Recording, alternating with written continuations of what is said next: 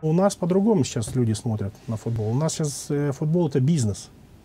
Это зарабатывание денег. Это кто кого, кто кого быстрее обманет. Да ладно, что значит кто кого быстрее? Как, как может Ну, игрок нас, обмануть? э, Объясните. Нет, не игрок. Я говорю около футбольных людей, которые э, крутятся много около команд.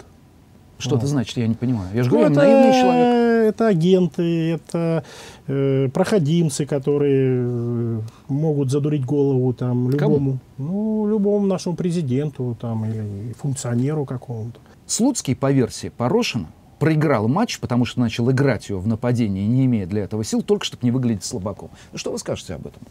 Версия очень красивая.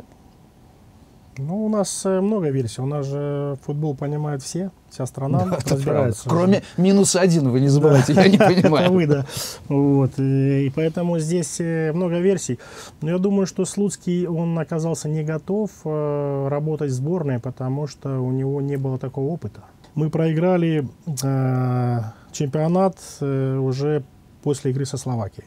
Уже все, можно было уже даже...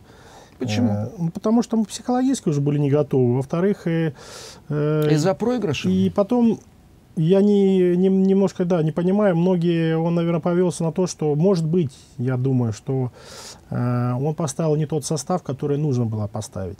Потому что я думаю, что ему кто-то подсказал.